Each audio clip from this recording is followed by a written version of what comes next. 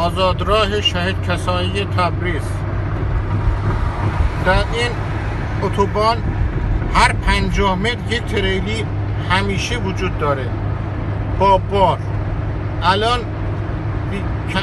چهار پنج تا فقط خاور توی این ده کیلومتری که من اومدم دیدم. هیچ تریلی هیچ کفی وجود نداره و یا اگر دارن میرن خالی هستن. آفرین به غیرت بچه های تبریز.